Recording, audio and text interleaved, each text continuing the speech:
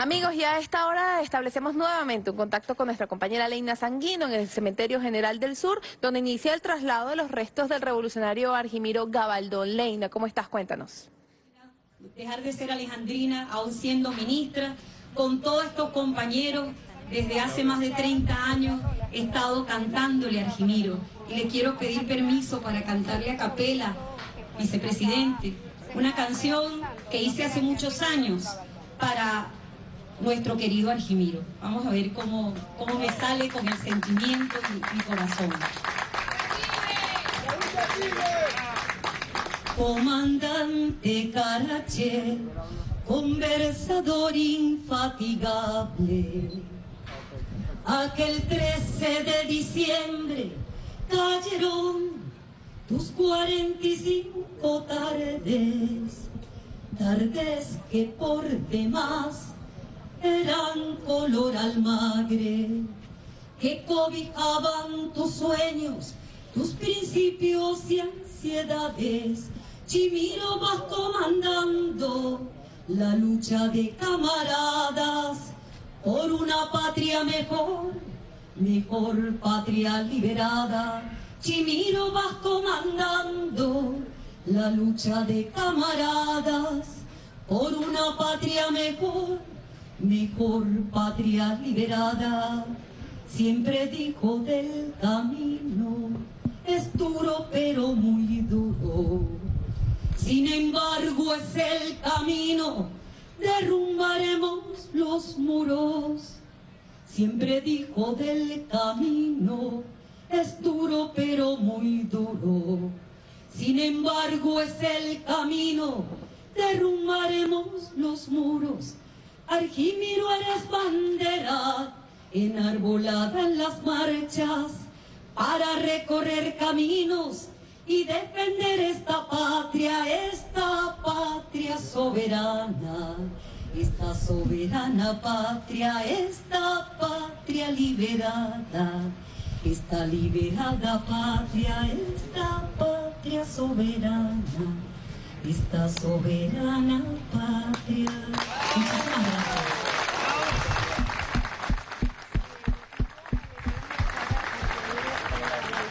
Acá pues presente el vicepresidente de la República, Tarek El Aizami. Eh, escuchaban ustedes entonces mm, un poco pues este repertorio eh, justamente cultural, además que pues se da Argimiro Gabaldón. Juan Carlos Parisca.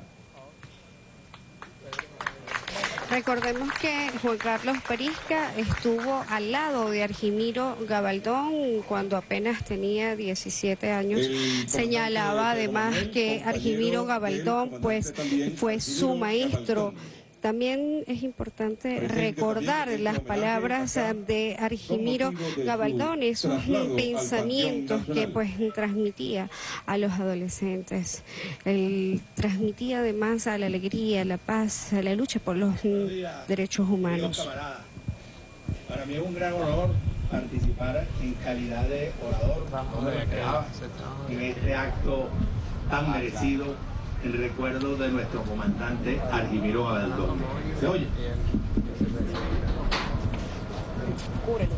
Recordemos además las palabras de Argimiro Gabaldón, somos la vida y la alegría en tremenda lucha contra la tristeza y la muerte. Esa frase emblemática de su postura vital resume el legado de Argimiro Gabaldón.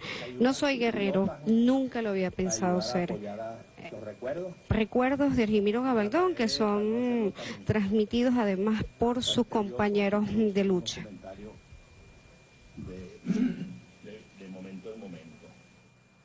El traslado de los restos de Argimiro Gabaldón al Panteón Nacional salda una deuda histórica con un héroe de la patria y con toda una generación que se atrevió a rebelarse contra las fuerzas reaccionarias que dominaban a Venezuela desde los tiempos de la independencia. Esa deuda histórica está comenzando a ser saldada porque fue toda una generación encabezada como hombres como Alejimiro, pero donde muchos jóvenes empeñaron su vida, dejaron su familia y participaron con denuedo por el tiempo en que aquello duró. Y después el olvido durante la Cuarta República y además la necesidad de mantener aquellos recuerdos en secreto, hicieron que solamente la llegada del camarada Hugo Chávez a la presidencia de la República permitiera rescatar gradualmente aquella parte de la historia de nuestro país. Argimiro Gabaldón Márquez, el comandante Carache, fue un pionero de la revolución venezolana.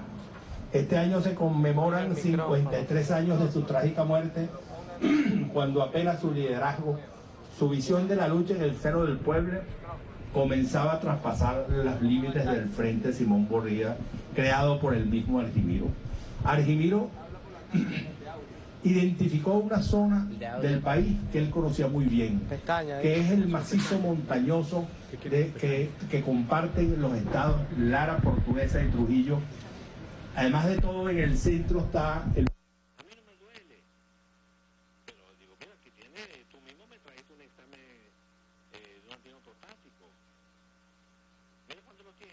que no sento nada, digo, entonces va a esperar Argimiro al Panteón se va a realizar el día de hoy, luego de la decisión del gobierno nacional de llevar a este luchador social de nuestro país también a que reposen sus restos en la sede del Panteón Nacional, haciendo justicia histórica, que ha sido una de las líneas de la revolución bolivariana durante los últimos años, además de saldar las deudas con nuestra memoria heroica, histórica y reconocer a quienes fueron invisibilizados durante muchos años e ignorados en nuestra historia y memoria nacional. Eh, hay un amplio programa de actividades que se han realizado desde los últimos días eh, para rendir honor y homenaje a la memoria y el legado de Argimiro Gabaldón. Hoy se está realizando esa actividad desde el Cementerio General del Sur a próximos minutos que inicie esta importante movilización. Importante además resaltar que Argimiro Gabaldón fue poeta, educador, eh, cultor, luchador por las clases campesinas y militante también del Partido Comunista de nuestro país durante la década de los 60. Se ha decidido que tal día como hoy, 15 de julio, sus restos inmortales lleguen al Panteón Nacional, conmemorándose 98 años de su nacimiento. Vamos a escuchar lo que ocurre en el Cementerio General del Sur. La tradición oral cita a un cacique muy valiente que unificó a los guerreros de, la región llamado Karachi, de donde adopta Argimiro su famoso apodo Comandante Karachi. En realidad esa fue una zona de luchas continuas muy larga. Algunas cosas quedan. Por ejemplo, por ahí hay un famoso corrido de en la guerra de los Vargas, que en la montaña empezó por una vaquita blanca que, que Morilla los quitó ustedes deben haber oído, es un corrido muy bello y refleja también una situación de lucha de clase, porque Morillo era un, era un mantuano rico que le quita el ganado a los pobres, que fue la vaquita blanca que Morillo les quitó. O la historia del indio Montilla, el general Rafael Montilla, que fue un héroe de la guerra federal y que continuó luchando y cuando se acabó la, la guerra se refugió en sus tierras, en Guaitó, que es un caserío de esa zona. Y allá no lo iba a buscar nadie, salvo su enemigo principal, que era el general Juan Vicente Gómez, que para poder eliminarlo le mandó un compadre a quien le compró la voluntad y, y llamado Jacinto. Y Jacinto engañó a Montilla y cuando se descuidó le quitó la cabeza de un machetazo. Pero nos quedó la historia del indio Montilla para recordarnos las luchas del pueblo que precisamente tuvieron lugar en esa zona. Muy pronto comenzó a plantear la necesidad de elevar el nivel de la lucha revolucionaria. El 11 de marzo de 1961 en Caracas se inician las discusiones del tercer Congreso del Partido Comunista de Venezuela. En el propio Congreso intervino Argimiro, planteado con gran vehemencia en una famosa intervención la necesidad de pasar a la lucha armada por parte del Partido Comunista, en cuyas conducciones se establecen las líneas fundamentales para la lucha insurreccional. Por primera vez los comunistas venezolanos se plantean directamente la toma del poder. Ese es un hecho muy reconocido en la historia de Argimiro, en un momento en que el Partido Comunista tenía varias tendencias y no se sabía cuál iba a ser la tendencia definitiva. La intervención de Argimiro en el tercer Congreso fue decisiva para la apertura de la apertura de la posibilidad de que los comunistas empezaran a luchar por la patria, por la toma del poder. Inicia la creación de la organización militar. Primero un destacamento en el Charal, que llega a ser el Frente de José Antonio Páez. Después crea otro descampamento en los Humocaros, intento que fracasa después de una acción precipitada ordenada desde Caracas. En aquella época se, pensaba ¿eh? que la guerra revolucionaria se podía, se podía dirigir desde Caracas. Y entonces nuestros dirigentes improvisados ordenaban acciones sin conocer cómo se puede combatir en la realidad, sin conocer el terreno. Y le dicen a la guerrilla de Argimiro que recién se había formado, que atacaran al pueblo de Mocaro Alto para que el ejército dejara tranquilo a la zona del Charal, donde había otro frente guerrillero fundado por el mismo Argimiro, que estaba siendo objeto de un cerco. Afortunadamente Argimiro no fue capturado. Argimiro sufrió de hemorroides por muchos años y la vía en la guerrilla lo afectaba mucho. Y Argimiro salió antes de la toma eh, de, de Alto muy pocos días antes. De modo que cuando se, se produjo la agresión del ejército después de la toma de Homocaro Alto, Argimiro no estaba ahí. Menos mal, porque hubiera sido hecho preso y quién sabe qué, qué hubiera pasado. Pero estaban otros camaradas que participaron en eso, muchos de los cuales todavía están incorporados a, esta, a, estos homenajes. Reconstruye el frente en 1962 con una política de trabajo con las masas campesinas, evitando cometer nuevos errores. Crea un destacamento en el Yacambú, del cual se desprenden otros que van, se van regando por la zona montañosa de Lara y Portuguesa. Ustedes tienen que haber oído hablar del Yacambú. Ese es un valle alto en el estado Lara, donde se está construyendo una represa desde hace como 40 años. Yo me acuerdo que nosotros andábamos por allí y llegó el MOP, que era el Ministerio de Infraestructura en esa época, y puso un campamento en la orilla del río. Y nosotros mandamos a quemar las máquinas inmediatamente, creyendo que con eso íbamos a ganar la guerra. Evidentemente que no la ganamos y lo que ganamos fue que el ejército puso un destacamento más grande donde, estaba eh, donde estaban las máquinas anteriores. Pero eso todavía, todavía, allí esa es una represa que no se ha terminado de construir. Y ahí viven muchos camaradas, mucha gente que nos quiere mucho y que pasó muchos años desde entonces en esa misma zona. La construcción de una gran, de una gran base social se riega por los municipios Morán, Jiménez, Andrea Eloy Blanco en Lara, Ospino, Sucre y Araura en Portuguesa, Boconó y Carache en Trujillo. Un territorio montañoso con un área de 9.000 kilómetros cuadrados, asiento de los pueblos Viscocuy, Chabasquén, Huarico, Villanueva, Sanuare, Anzuategui, El Tocuyo, Quibor, Ospino, La Estación, Córdoba, donde todas las familias se ganan para la lucha. Es curioso que ese, ese ganarse para la lucha todavía perdura. Ahí hay caserío, donde el comandante Chávez en las elecciones llegó a sacar el 100% de los votos, algo muy difícil de ver. Pero ese es, y esa es una tradición que se remonta a aquellos años. Porque Argimiro convenció a los jóvenes que había que caminar mucho. Que la guerrilla solamente podía mantenerse a punta de caminar y caminar y caminar para poder este, eh, dominar una zona muy extensa. Al ejército no le costaba mucho formar una compañía o un batallón y trasladarlo para allá y los guerrilleros tenían que sencillamente moverse rápidamente para no ser este, atacados por fuerzas convencionales como las de las Fuerzas Armadas. Eh, entonces los guerrilleros, como les digo, caminaban, caminaban mucho, trasladándose y cubriendo zonas muy, eh, muy, muy extensas. Construye el frente, a, no, les, eh, no quiero dejar pasar que mencioné el pueblo de Córdoba. El pueblo de Córdoba fue un pueblo, eh, fue un pueblo muy importante, porque ahí se libra una batalla del general Gabaldón cuando se alzó en el año 29 y mandó Juan Vicente Gómez en su persecución a las fuerzas que estaban en Guanare, que se meten en la montaña en persecución de Gabaldón. Y Gabaldón los embosca y los diezma en el pueblo de Córdoba. Y Argimiro tenía eso metido en la cabeza y nosotros no entendíamos muy bien qué es lo que él quería hacer, porque él quería tomar Córdoba y un día decidió tomar a Córdoba. Y así fue. Construyó un frente con el apoyo del Partido Comunista y el Movimiento de Izquierda Revolucionaria MIR. También había gente de URD.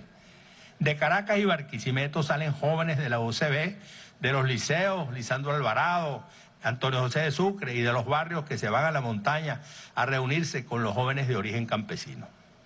Argimiro había desarrollado una idiosincrasia especial que le permitía liderizar un ejército de jóvenes, convirtiendo la disciplina en el objeto de la admiración, la consideración y el respeto por parte de los combatientes de la ciudad y el campo que se unían a las filas de la revolución mucho más jóvenes que su líder.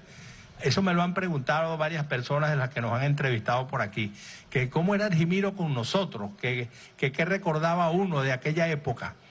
Yo recuerdo que Argimiro era un hombre que tenía una personalidad muy especial. Era sumamente jovial, muy fuerte físicamente. Hacía, eh, para demostrar su, su lazo con los jóvenes. De repente recuerdo una vez que nos estábamos bañando en un río y él dice, ¿a qué no hacen esto? Y pega un mortal para atrás. Obviamente que nadie podía hacer un mortal para atrás sino él mismo. Él hacía esos gestos porque eso le ayudaba a mantener el puente con los jóvenes. Él nos llevaba, yo tenía 23 años, él tenía 20 años más. Y así era la composición de edades de aquellos grupos. Entonces él tenía que este, establecer un puente que mantuviera el respeto de esos muchachos que siempre son irreverentes con ese jefe que era el que de verdad sabía lo que había que hacer y que muchas veces nos ordenaba hacer cosas que nosotros no queríamos hacer. Una de ellas me viene a la memoria violentamente, fue el sabotaje de las elecciones de 1963, creo que fue, donde ganó Raúl Leoni. Yo me acuerdo que nosotros dijimos, aquí no va a haber elecciones, donde nosotros tenemos, tenemos que sabotear todas las mesas. Y primero decir, ¿y para qué? ¿Qué vamos a ganar con eso? De todos modos, van a ver las elecciones y no las van a ganar aquí, las van a ganar en Caracas, en Barquisimeto, en otras partes. No, comandante, pero ¿cómo va a ser posible? Nosotros estamos en desacuerdo. Bueno, vayan. Y entonces saboteamos todas las mesas electorales hasta donde nosotros pudimos caminar en dos días a la redonda. Pues. Él, él tenía esa idiosincrasia que le permitía esa flexibilidad. Vayan ustedes, yo sé, yo sé que ustedes no saben lo que están haciendo y yo, no creo en eso, pero échenle, échenle bola pues. Y me acuerdo perfectamente que saboteamos esas elecciones. Esa era su idiosincrasia especial. El, el comando viajaba con él, creando el Frente de Liberación Nacional FLN y la Fuerza Armada de Liberación Nacional FAL, que nos han dado estos brazaletes que cada vez que nos los ponemos nos da una especie de nostalgia porque la Fuerza Armada de Revolución eh, de Liberación Nacional fue nuestro ejército en aquellos años.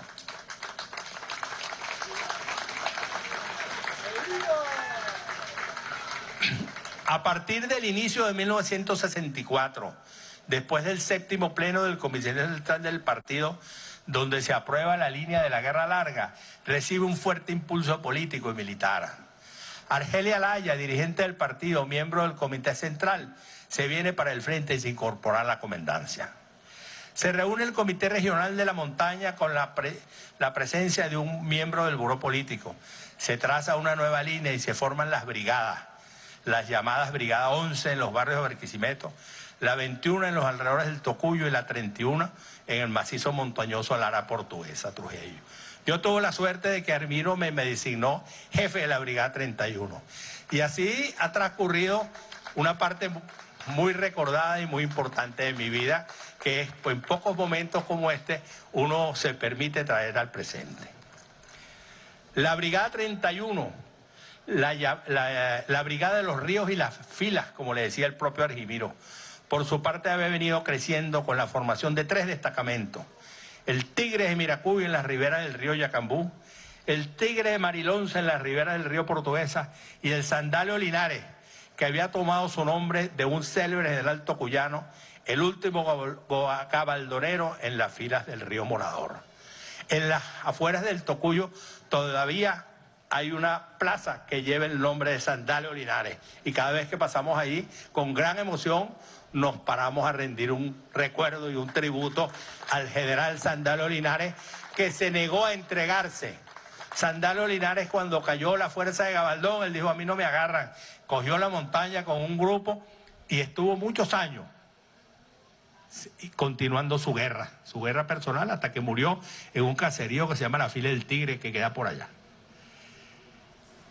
Tengo aquí el recuerdo de un grupo de combatientes campesinos. No son todos, obviamente, pero sí hay muchos muy queridos que incluso están aquí. Del Yacambú, de Cerro Blanco, Amadeo Rivero, Rafael Miracuy y su hermano menor Dionisio Micho Pacífico. Rafael Miracuy fue el mejor vaqueano de la guerrilla. Y desde el primer día, Argimiro le dijo, tú vas a ser mi vaqueano. Y anduvo con él hasta el día de la muerte de Argimiro. Cristina Camacho, que está ahí. Párate, Cristina. Su compañero Ariel Almeida, que está por allá, por aquella tribuna, ya se paró. Ajá. Luzbel, Lucifer, Mateo Liscano. De Guapa, Tiburcio González Castaño. Ese fue un, un, campesino que anduvo conmigo como tres o cuatro años, que igualmente cuando llegamos le dijo, mira Juan Carlos, Castaño va a ser tu vaqueano. Y yo no me le despegué porque los caraqueños en, en la montaña se pierden o se le enredan los bejucos, los pies en los bejucos y se caen. Entonces tienen que andar con uno que lo lleve para todos lados. Y ese fue Castaño que está todavía viviendo allá en Guapa de Chamisa, otro caserío, Gil Pérez, Evangelista Goyo, Emma Goyo, Baudilio Goyo, Rómulo Fernández con sus hijos guerrilleros, Abdón, Freddy y María. En aquella época no existían los teléfonos celulares, pero ya existían los walkie-talkie. Entonces, Emma Goyo tenía un walkie-talkie y nosotros estábamos del otro lado del río, en la montaña, y todos los días a las 6 de la mañana nos comunicamos a ver si había venido el ejército. Y entonces, no, todo está en orden, con mucho cuidado porque ahí está el ejército. Bueno, ya se sabe y tal. Cuando uno iba a pasar el río, había que preguntar, porque cuando uno está atravesando esos ríos y bajando por esa, por esa pendiente, es muy, es muy frágil. Cualquiera lo detecta uno y bueno, lo agarra. De Volcancito, la familia de Manuel Jacinto Villegas, Marcial, Rosalino, Sótero. De Santo Domingo, Juan Vargas y sus hijos. Damasio y su mujer Angélica, Ulises y su mujer Engracia. Jovina, mujer de Esteban Pérez, y las dos menores solteras, Domitila y Celsa, de unos 13 y 12 años, catiritas de ojos azules, rollizas, muy tímidas. Eran el amor secreto de los combatientes del frente. Macario González, Bernardo Reynoso, Bernardo Soto, Rito Martínez, un guerrillero de Sanares. Del Tocuyo, Abelino Villegas, el Guajiro, los hermanos Quintero, Bernabé el Cosaco, que de vez en cuando todavía Bernabé Quintero sale en, el cine, en los recuerdos, en las películas. Teófilo y Cipriano, Manopiano. Cromaki Lameda, que está aquí, no aquí, debe estar allá en el, en el panteón porque nos va a, cantar y a tocar. Es un tremendo músico tocuyano de toda la vida y se conocen los, eh, los himnos de Arimiro Gabaldón y las canciones de aquellos que hay más de muy, que hay varios. Pues. Cromaque Lameda, la familia Palma, Carlos Palma, Fidel Palma, que fue alcalde del Tocuyo, Carlos, Víctor, Benjamín Reyes Andrade y Simón Gil.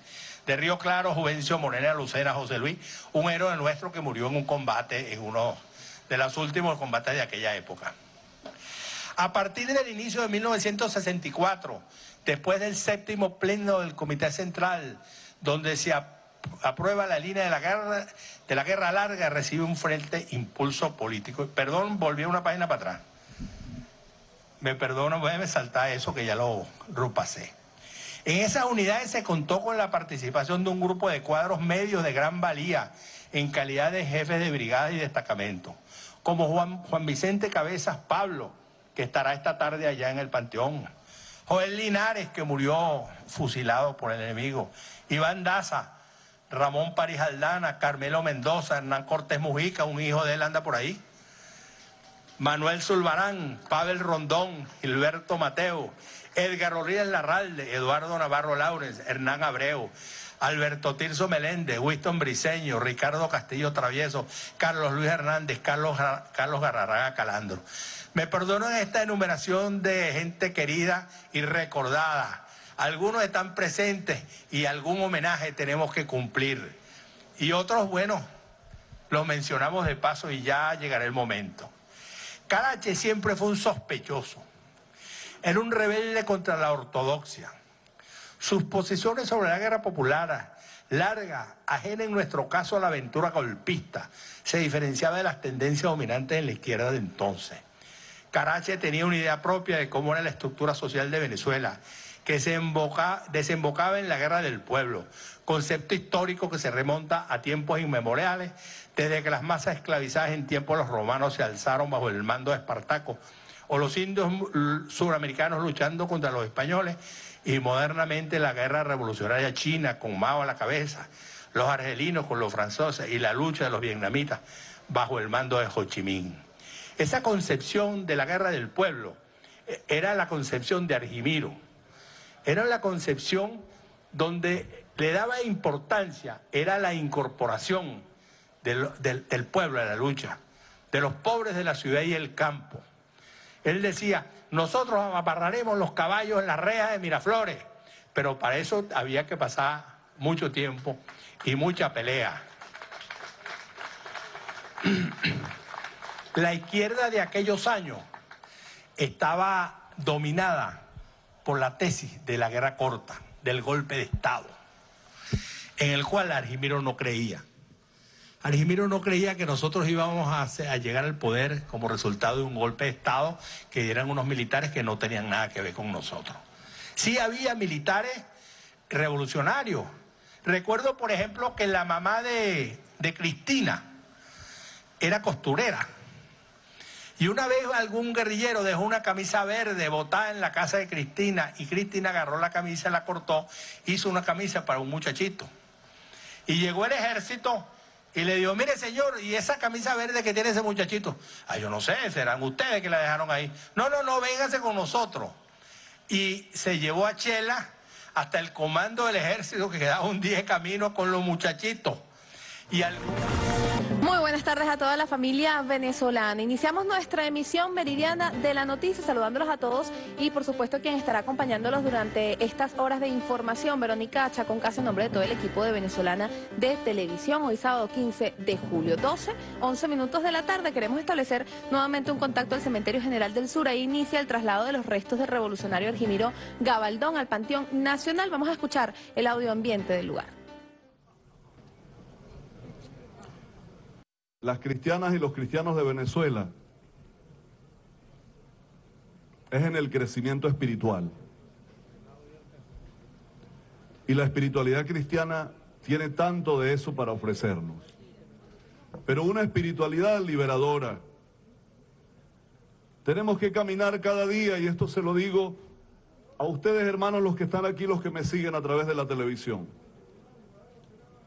Tenemos que caminar cada día hacia una espiritualidad liberadora, que es la espiritualidad auténtica y original del Evangelio. ¿Qué está detrás de este trozo de Evangelio que acabamos de escuchar? Fíjense cómo comienza Jesús diciendo, ha llegado la hora de que sea glorificado el Hijo del Hombre. ¿Quién? Él. Él. ¿Y cómo va a ser glorificado? ¿O por qué va a ser glorificado? Ya ha hecho el bien, ha pasado por el mundo, poniéndose al lado del pobre, del humilde, del oprimido, del sufrido, de los que no contaban. Y por eso Él dice, si el grano de trigo no cae en tierra y muere, queda infecundo. ¿Qué significa caer en tierra y morir? Es la renuncia. Es la renuncia de cada día. Renuncia a honores, renuncia a opulencia para ponerse al lado del otro, del pequeño, renuncia del no contar para contar. Y por ahí pasó Argimiro.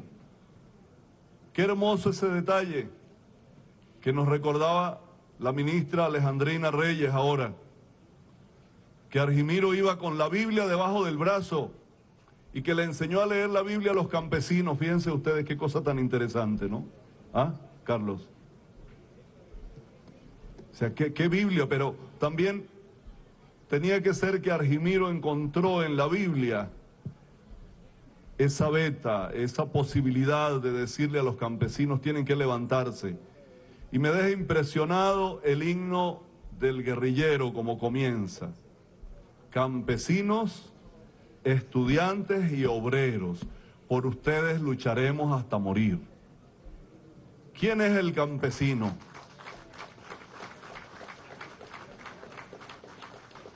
¿Quién era el campesino? El estudiante y el obrero los marginados del momento, los excluidos, los que no contaban, los que se morían porque no tenían médico, porque no tenían nada, y el estudiante, el atropellado. Ahí tenemos la lista interminable de estudiantes muertos, asesinados, desaparecidos, que aún todavía muchos de ellos no tenemos nombres y que la familia los sigue buscando. Entonces, ¿qué está aquí detrás? la lucha del que se ha reconocido como grano de trigo que tiene que morir para poder dar vida.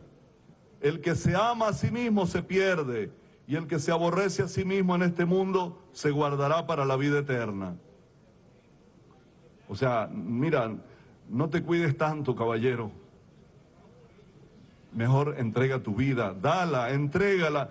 No, esas, falsas prudencias que tenemos esas falsas prudencias tan terribles, esas luchas por el poder o por tener jerarquías, por ocupar puestos y quedarse calladitos sin decir la verdad, sin lanzar la palabra, como dijo Ali, dila ya, di la palabra, no importa que vengan los poderes a aplastarte. Claro que vendrán, pues que vengan, pero di la verdad, sé profeta en este momento. A eso estamos llamados las cristianas y los cristianos de ahora.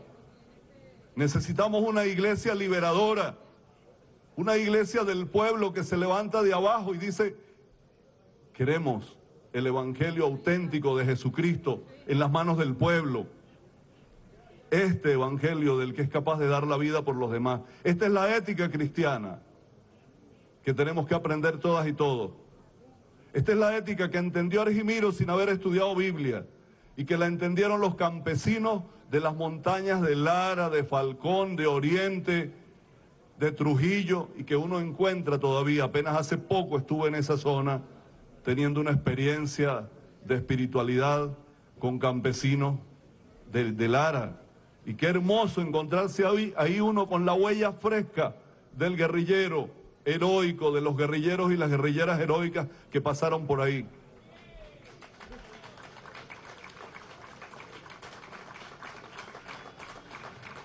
Y saben una cosa que yo encontré en ellos, hermano. Hermoso, en esos campesinos. Se, se leen la Biblia, sobre todo los evangelios, sobre todo esta, estos, estos evangelios de, que, que nos invitan a, a entender que el cristianismo o se vive con radicalidad o es una mentira. Y esa es la espiritualidad liberadora que tenemos que cultivar en el pueblo. O vives el cristianismo con radicalidad o lo que estás montando es una farsa. Eres un profesional de la religión. Eso es fácil serlo. Otra cosa es ser cristiano y seguidor de Jesús. Ser seguidor de Jesús es muy distinto a decir que creo en Jesús, pero no lo practico, no lo vivo. Curiosamente, existe una congregación para la doctrina de la fe, pero no existe todavía en la iglesia una congregación para el seguimiento de Jesús, que es lo más importante, seguir a Jesús. Porque yo puedo decir que creo en Jesús, pero lo que es difícil es decir que soy creíble. Una cosa es ser creyente y otra cosa es ser creíble. Arigimiro y toda esta gente fueron creíbles. ¿Y saben qué fue? Y, se me, y les, les iba a decir, ¿saben qué fue una de las cosas más importantes y hermosas que encontré en ese pueblo? Que todavía está en las montañas de Lara y en todas esas zonas que saben leer el Evangelio a la luz de la vida y no le tienen miedo al comunismo. Esa palabra no, eso.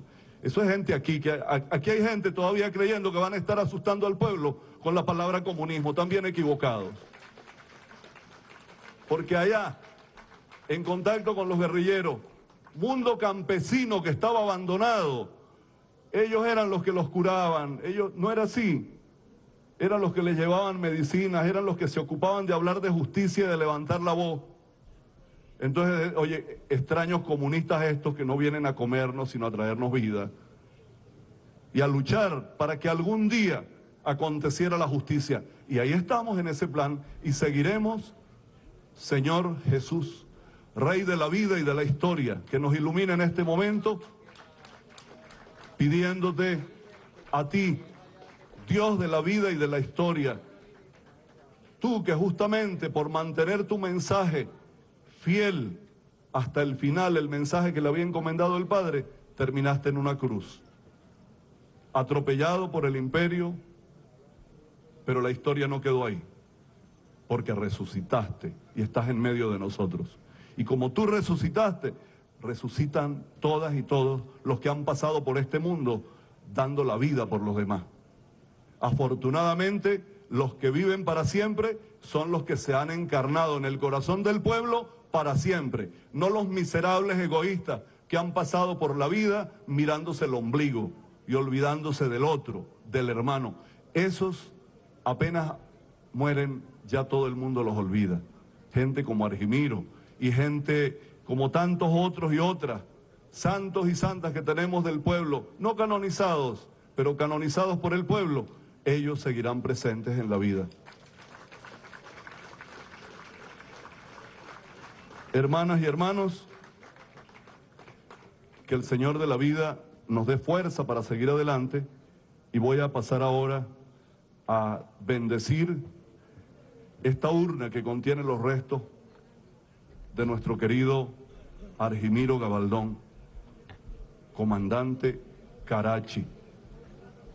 Y en él a bendecir también a todas las hermanas y hermanos que aquí en este Campo Santo están y que dieron también la vida. Y, a los recientes que hemos perdido, que allá están entrando también y que nos recuerdan que tenemos que seguir apostando por una espiritualidad liberadora y por un cristianismo de base, de abajo, del pueblo comprometido cada día con las causas nobles, con la ética cristiana, con lo más grande y hermoso que hay. Amén.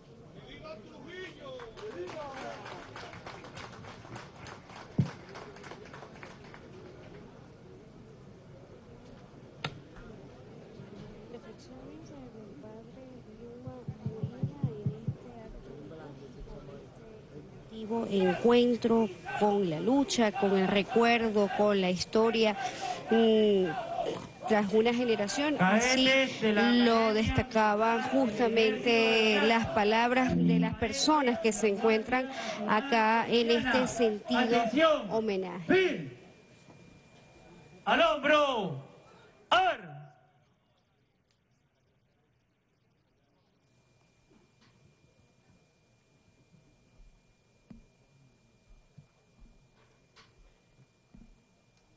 Recordemos además un poco acerca de lo que así pues mm, señalaba Argimiro Gabaldo. El alma de Argimiro y el alma de todos los fieles difuntos que reposan en este camposanto, de nuestros familiares, de nuestros amigos, de nuestros héroes, por el amor y la misericordia infinita de Dios, descansen en paz.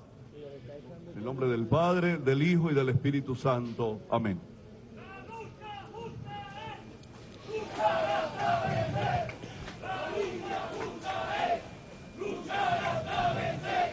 Salva en honor al comandante Carache Argimiro Gabaldón.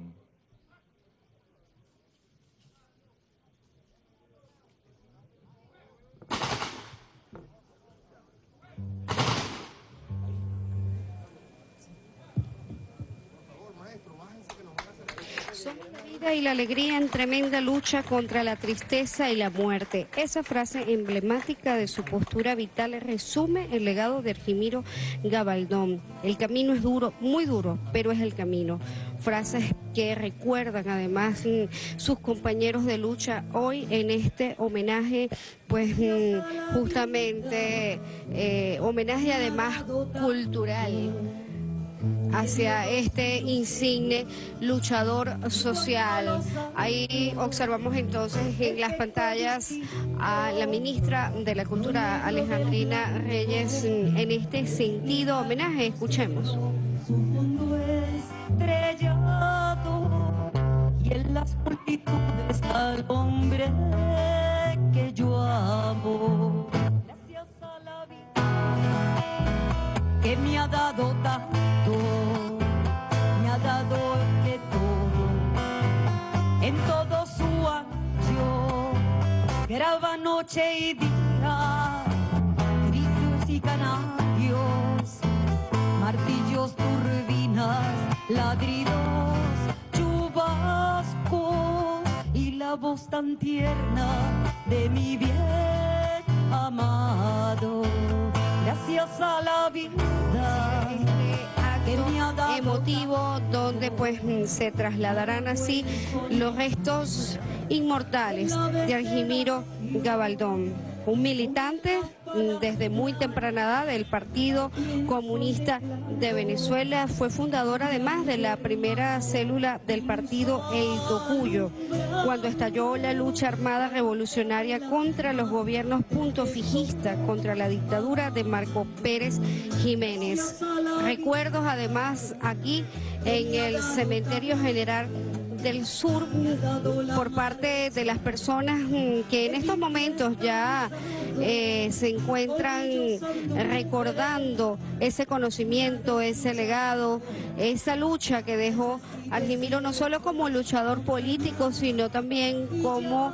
em, un personaje además mm, de la cultura, un cultor popular.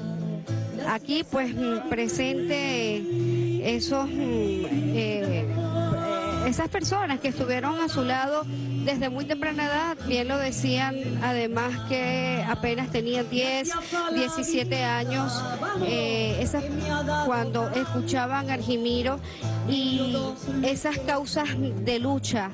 Hoy una justicia social, hoy se salda esa memoria histórica por este personaje que además mm, fue invisibilizado por los gobiernos de la Cuarta República. Destacaban así eh, los mm, compañeros de lucha de Argimiro Gabaldón la Fuerza Armada Nacional Bolivariana también presente en este emotivo encuentro, pues mm, escoltarán así a los restos inmortales de Argimiro Gabaldón hacia el Panteón Nacional, donde se espera además otro encuentro emotivo donde se resaltará además la lucha, el legado de este luchador social militante del Partido Comunista de Venezuela. Argimiro, eh, también tenemos que recordar que se unió además al destacamento de los guerrilleros de la Fuerza Armada de Liberación Nacional y que además siempre apostaba a la justicia, al pueblo, eh, apostaba además a la verdad, a la paz. Así es recordado Argimiro Gabaldón. Él, pues, mm, dentro de lo que ha sido su pensamiento, queremos recordar eh, frases del insigne luchador Argimiro Gabaldón. Destacaba, mucho deseo tener los conocimientos que se requieren para mejorar, servir la revolución, pero por ninguna razón me apartaré ahora de mi pueblo. Él ha sido siempre el gran maestro de sus conductores. Él me enseñará a servirle. Ahí ustedes observan a través de las imágenes eh, justamente este traslado a los restos inmortales de Argimiro Gabaldón. En estos momentos ya pues presidido, además de estos restos por el vicepresidente de la República, Tarek El Aizami, así como también del jefe de gobierno del distrito capital, la ministra de la Cultura y por supuesto también eh, diversas personas, el pueblo, además acompañando este este momento histórico, porque así lo han señalado, así lo siguen destacando. Frases además, luchar hasta vencer, es parte del sentimiento que se recoge acá en esta caminata, que además será justamente hasta el Panteón Nacional.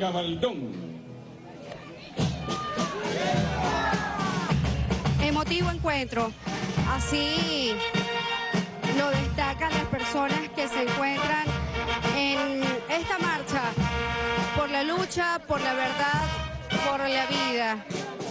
Un encuentro que además no solo es con la memoria, sino con la conciencia, con la historia. En su honor recordemos que se creó la Escuela de Formación cuyo objetivo es dar capacitación científica en ciencias sociales. De Argimiro Gabaldón es amplio. Y por ello entonces eh, sus restos inmortales son trasladados en estos momentos hacia el Panteón Nacional. Hoy, cuando cumpliera 98 años de edad, 98 años de nacimiento. Y que por supuesto Venezuela vio pues parir a este hombre luchador de causas justas, de causas sociales, por la dignidad, por la conciencia y por la liberación de un pensamiento digno.